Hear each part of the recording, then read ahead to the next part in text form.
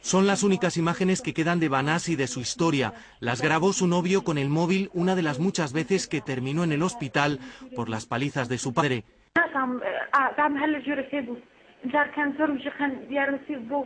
No parece triste, sino más bien resignada. Hasta en cuatro ocasiones fue a la policía para pedir ayuda, pero nunca la creyeron.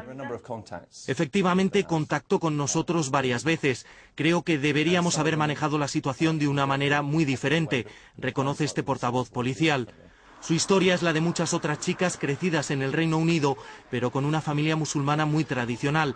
A los 17 años se pactó su matrimonio con un kurdo iraquí. Él la golpeaba y la violaba. Aguantó un año y regresó a casa. Para este hombre su padre fue una deshonra, pero lo peor llegó cuando conoció a Ramad, un joven del que se enamoró. Su familia nunca lo aceptó.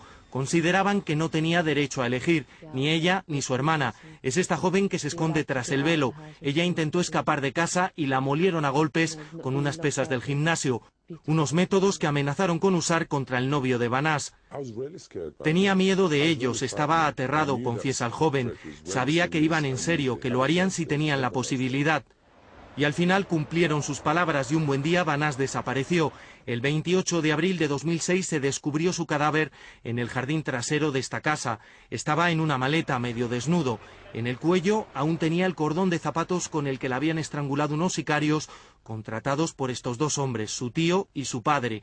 Ambos han sido condenados hoy.